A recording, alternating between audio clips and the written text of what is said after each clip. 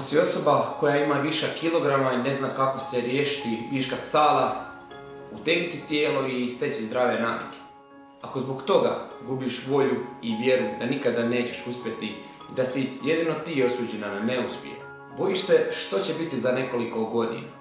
Budiš se sa što manje energije, a tvoji popodnevni sati se svode samo na izdržavanje jer si premoren. Strah te da nikada više nećeš biti ona mlađa ti i da nikada nećeš izgraditi svoje tijelo onako kako si ti željela i promijeniti se iz temelja.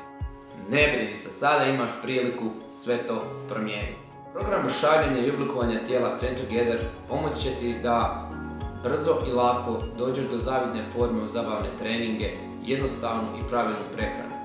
Da se izdvojiš iz mase nezadovoljnih osoba koje samo pričaju, a ne mijenjaju ništa.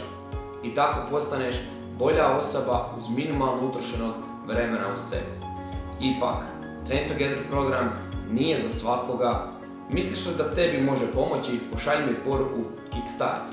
Procijenit ću osobno mogu li ti pomoći i dobit ćeš sve potrebne informacije želiš li se priključiti već danas i krenuti mijenjati svoj život na bolje.